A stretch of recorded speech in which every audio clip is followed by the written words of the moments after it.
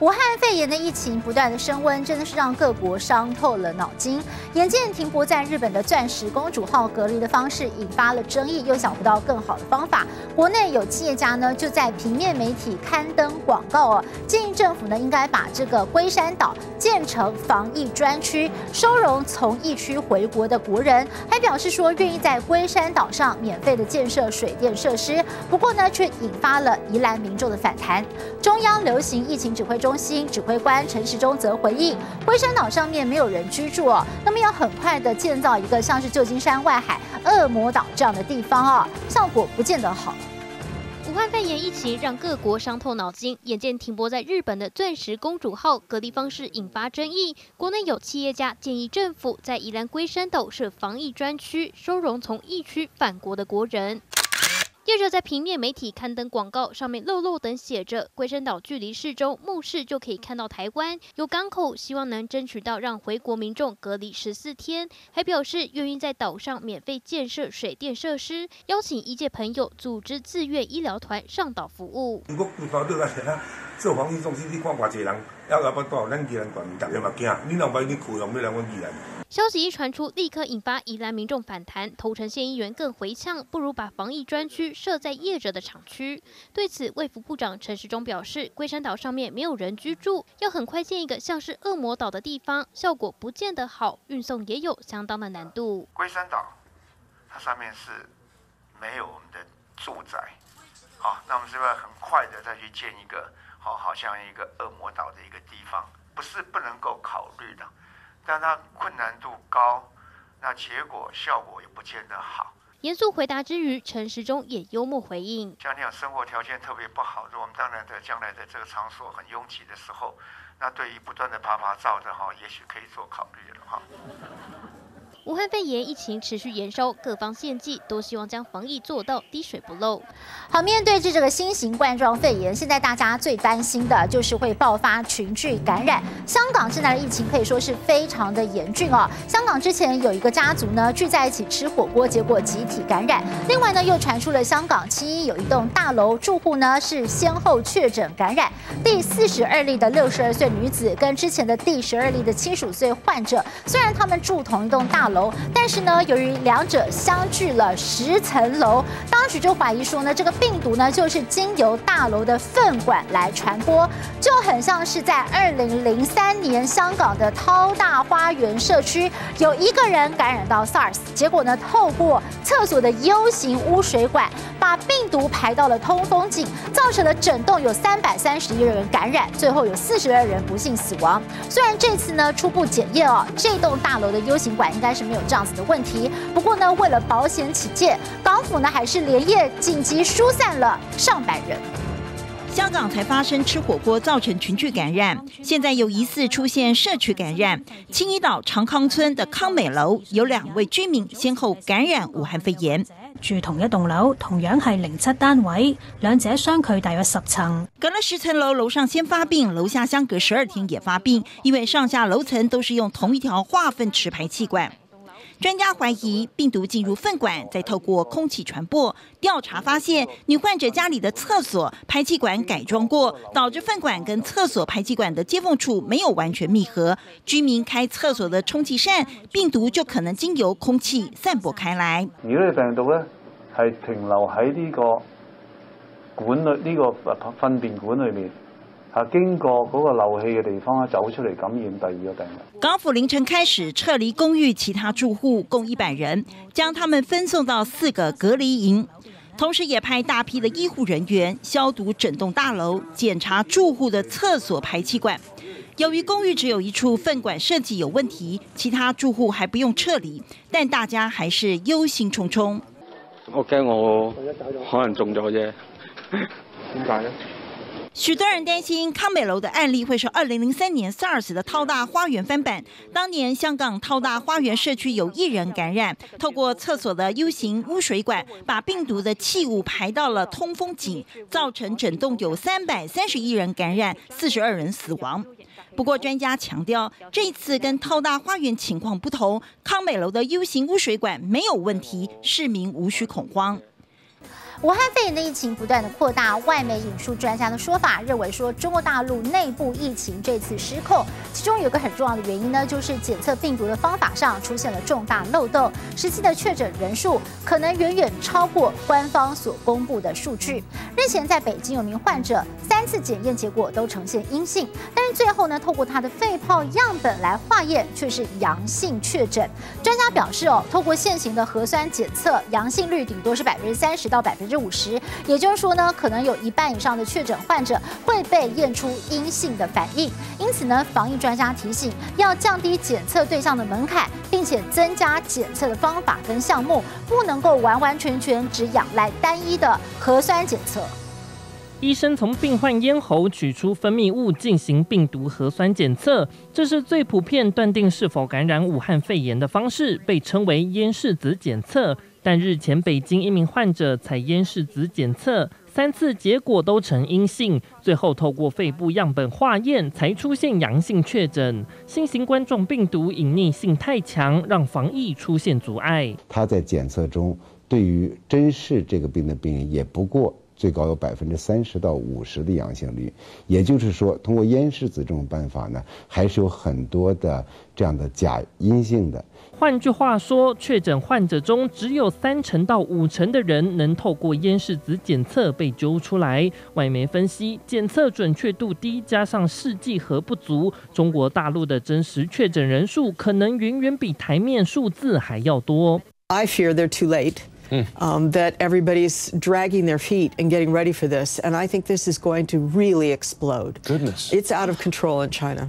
专家建议不能仰赖咽拭子检测，应增加检验项目，例如肺部 CT、电脑断层扫描等。大陆卫健委也早在四號就宣布，湖北省境內通通以 CT 掃描作為臨床診斷依據。嗰個門檻咧要降低嘅，一啲肌肉疼痛啊、好攰啊。等等呢啲嘅病徵，甚至乎譬如氣促或者有咳嗽嘅，但係冇發燒的話咧，可能都盡快同佢係誒作出一啲誒依方面嘅檢測。同时还要降低检测对象门槛，一有上呼吸道症状如咳嗽等，不管有没有发烧，都该立即列管检测，避免隐形患者四处爬爬灶，形成防疫漏洞。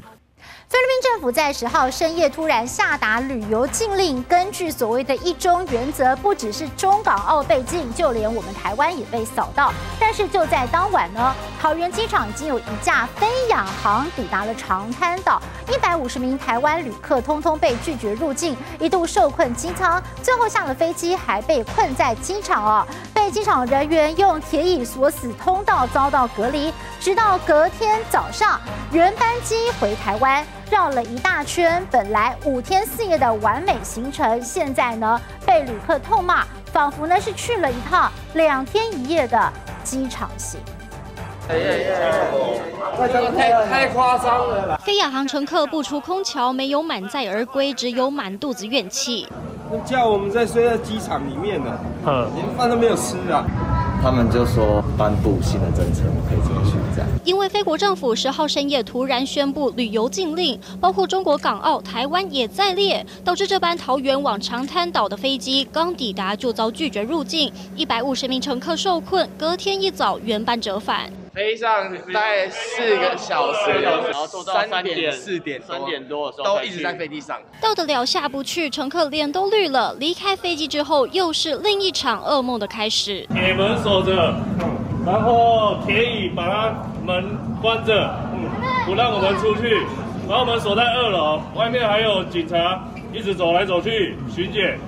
让我们造成很大的压力。进到机场想休息，却得到这般待遇。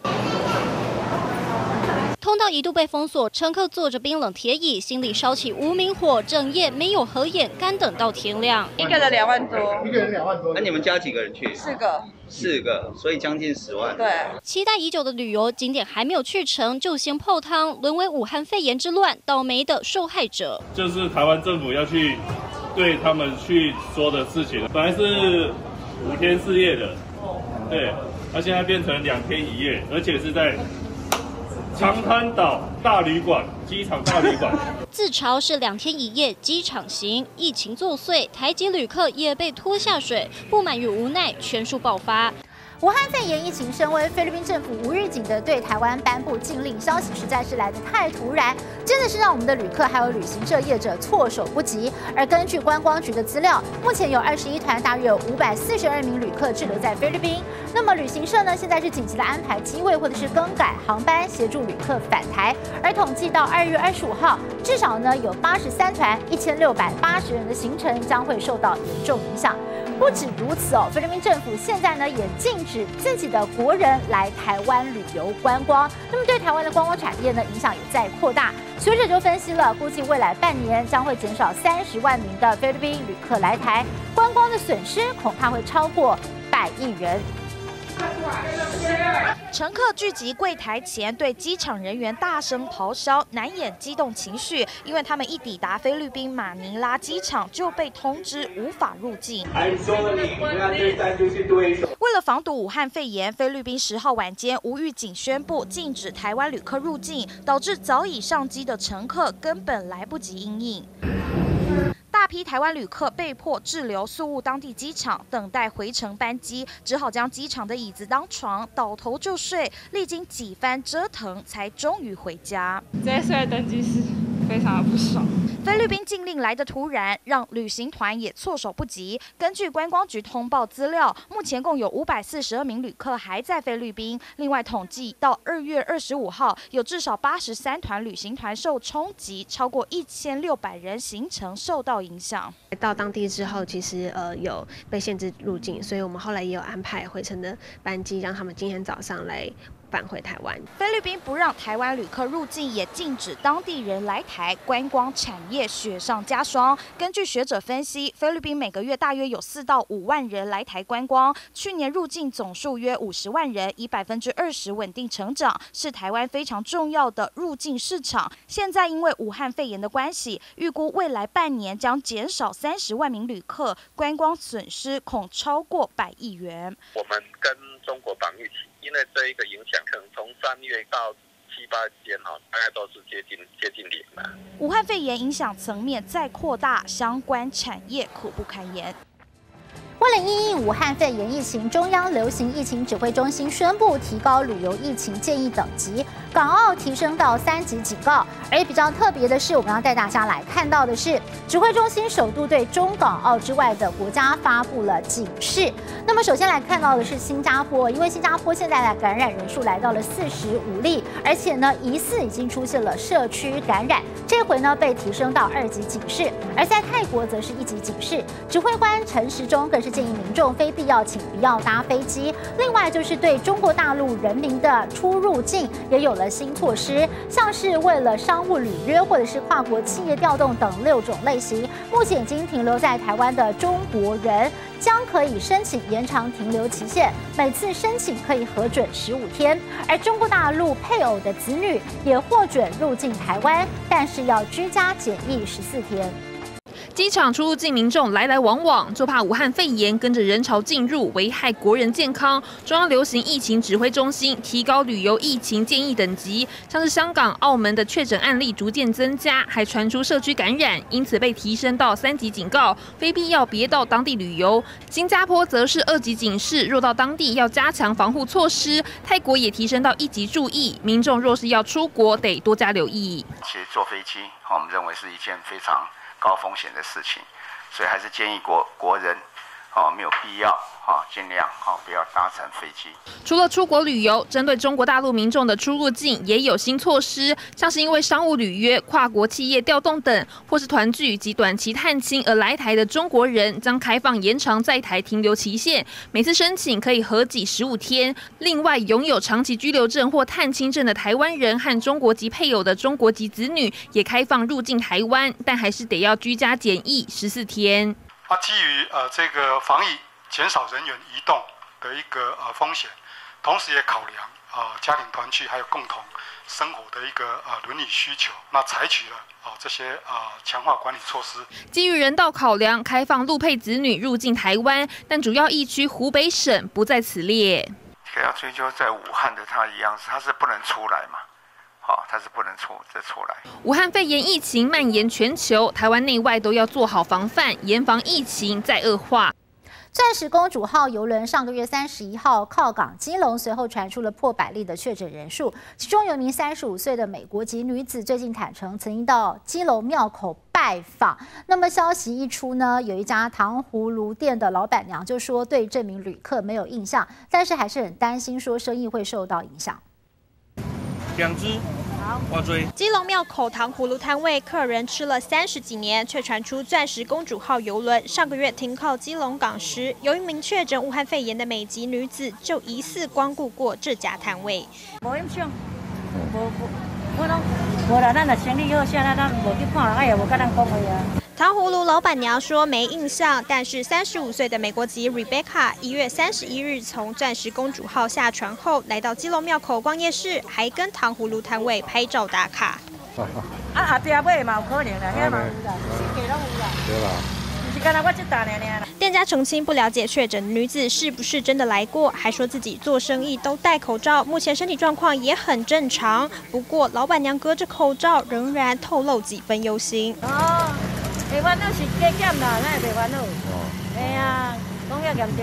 不止老板娘怕生意受到冲击，其他店家也等不到游客。差很多啊，你看人群就知道了。啊，掉很多，希望赶快恢复正常。人潮不如以往，有些店干脆一直休年假不开门，苦等疫情降温，人潮回流的那一天。